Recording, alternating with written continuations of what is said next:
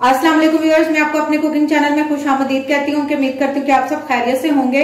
आज मैं आपकी खिदमत में कप केक की रेसिपी लेकर हाजिर हुई हूँ, लेकिन उससे पहले आपने क्या करना है, हमेशा की तरह मेरी वीडियोस को लाइक करना है फ्रेंड्स एंड फैमिली के साथ शेयर करना है। और जिन्होंने हमारा चैनल सब्सक्राइब नहीं किया, वो प्लीज़ प्लीज़ हमारा चैनल सब्सक्राइब करें और हमारी वीडियोज़ को लाजमी शेयर करें। चलिए देखते हैं कि कप केक के लिए हमें कौन से इंग्रेडिएंट्स रिक्वायर होंगे। इसके लिए हमने तीन कप जो है, वो मैदा लिया है। तीन कप ही हमने पाउडर फॉर्म की शुगर ली है। पिसी हुई चीनी तीन कप। एक चम्मच बेकिंग पाउडर चंद कतरे वनीला एसेंस चार अंडे और तीन कप जो है वो हम घी इस्तेमाल करेंगे। चलिए अब नेक्स्ट प्रोसीजर में देखते हैं कि इसको किस तरह बनाएँगे।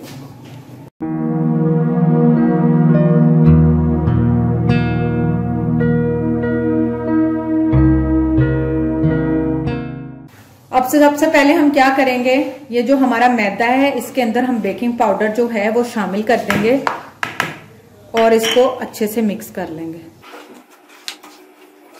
अब जो हमारा बेकिंग पाउडर मिक्स हो गया, अब नेक्स्ट स्टेप में हम चलिए, अब व्यूअर्स एक जग लेंगे। जग के अंदर मैंने चीनी जो है, वो पाउडर की थी, इस तरह ही मैं इसको इस्तेमाल करूँगी। और हम तीन जो है काउंट करके वो घी जग में शामिल करते जाएँगे, तीन कप एक। ये अब हमारा तीसरा कप जो है, घी का, वो भी शामिल कर लिया।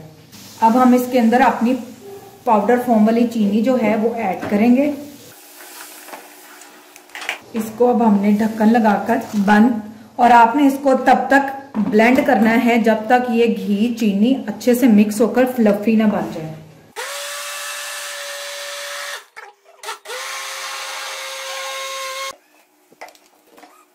ये देखें व्यूअर्स हमारा घी और चीनी अच्छे से मिक्स हो गया और ये थोड़ा सा फ्लफी हो गया अब हम इसमें एक एक करके एग शामिल करेंगे। यह बात आपने याद रखनी है कि आपने एक एक करके ही अंडा इसके अंदर डालना है। इकट्ठे नहीं डालने। अब मैं इसको जरा अच्छे से मिक्स कर रही हूँ।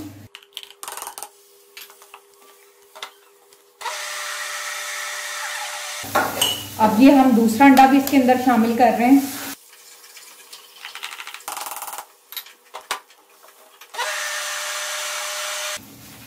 अब मैं ये तीसरा अंडा भी इसके अंदर शामिल कर रही हूँ।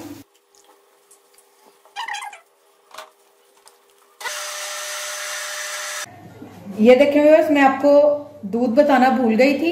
एक कप हमने इसके अंदर दूध शामिल करना है। अब मैं इसके अंदर दूध को जो है वो डाल रही हूँ। आप चाहें तो थोड़ा थोड़ा करके डाल लें या एक ही दफ़ा डाल लें। मैं दो हिस्सों में डालूँगी। और ये जग का इस्तेमाल हमने इसलिए किया क्योंकि ज़्यादातर घरों में इलेक्ट्रिक बिटर नहीं होता। तो आप इजीली जो है वो जग में बना सकते हैं। अब बाकी का भी दूध हम इसके अंदर शामिल कर देंगे। अब हम क्या करेंगे? चंद कतरे जो है वो वनीला एसन के लेंगे। ये देखें, तकरीबन आधा चम्मच जो है वो हम इसके अंदर शामिल करने लगे हैं। और इसके साथ ही जो हमारा आखिरी अंडा बचा था चौथा वो भी इसके अंदर हम शामिल करेंगे।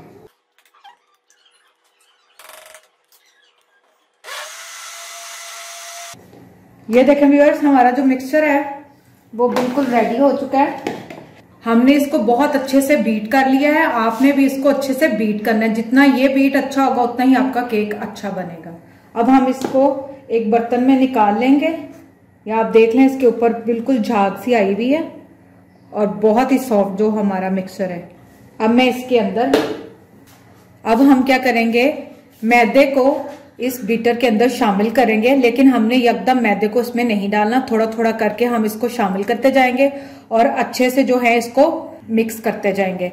अब मैं क्या करूँगी? दोबारा से जग लूँगी। इसके अंदर हाफ़ जो मिक्सर है वो मैं पहले ऐड करके, साथ थोड़ा थोड़ा जो मैदा है दो दो चम्मच करके हम ऐड करते जाएँगे। आप चाहें तो इसको हाथ की मदद से भी फेंट सकते हैं।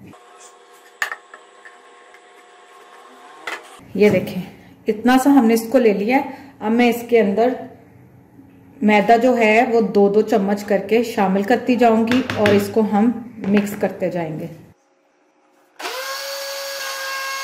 इसी तरीके से अब मैं अपना सारा मिक्सचर रेडी कर लूँगी। हमारा मिक्सचर रेडी हो चुका था। अब मैंने क्या किया, इस तरह एक बेकिंग ट्रे ले लिया, कप ट्रे। अब मैं इसके अंदर जो है, इसको अच्छे से ऑयल कर लूँगी। ये जो आपने ऑयलिंग करनी है, आप हाथ की मदद से भी कर सकते हैं। मैं अभी ऑयल से कर रही हूँ, आप बटर या घी की मदद से भी कर सकते हैं। अब इसी तरह मैं सारों को ग्रीस कर लूँगी। ये मैंने इसको ग्रीस कर लिया था। अब मैं क्या करूँगी? हल्का हल्का जो है इनको मैदे के साथ डस्ट कर लूँगी। इससे जो आपके कप केक हैं, वो आसानी निकल आएँगे, क्योंकि हमने बटर पेपर का इस्तेमाल नहीं किया। अब मैं डायरेक्ट ही मिक्सचर जो है इसके अंदर डालती जाऊँगी। आपने इसको थोड़ा थोड़ा फिल करना है और थोड़ा बचा लेना है। इसी तरह मैं सारों को फिल कर लूँगी। इसके साथ साथ व्यूअर्स आप ये देख सकते हैं कि इसकी जो कंसिस्टेंसी है, वो कितनी अच्छी है। आपने सेम इसी तरीके से रखनी है। ये देखें व्यूअर्स मैंने इसको अच्छे से फिल कर लिया। फिल करने के बाद आपने क्या करना है? इसकी टैपिंग करनी है।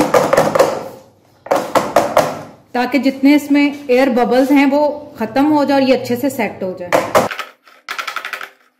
आज जो है, मैं इसको ओवन में बेक करूँगी। चलिए, हम इसको प्री हीटेड ओवन में बेक करते हैं। ये देखें व्यूअर्स हमने इसको इस तरह ट्रे के ऊपर रख देना है बेकिंग ट्रे के। बेकिंग ट्रे पर हमने इसको रख दिया है। अब जो मैंने ओवन है, वो पहले ही 180 डिग्री सेंटीग्रेड पर प्री हीट कर लिया है। अब हम इसको ओवन में रखेंगे। चलिए अब हम इसको ओवन में रखते हैं।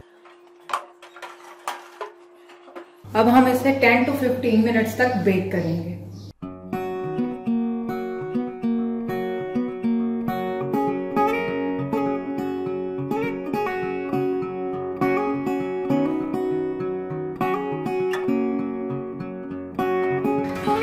हमारे कप केक जो है वो रेडी हो चुके हैं। मैं अब इसको निकालने लगी ये देखें व्यूअर्स हमारे कप केक बिल्कुल रेडी हो चुके हैं। अब मैं आपको एक जो है वो निकाल कर दिखाती हूँ। अभी ये फुल गर्म है। आप इसका दोनों तरफ़ से इसका कलर चेक कर लें और इसकी सॉफ्टनेस ये देखें कितना ये सॉफ्ट है।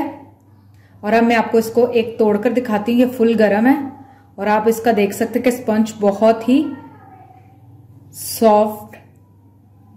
स्पंज इसका बहुत ही सॉफ्ट तैयार हुआ है।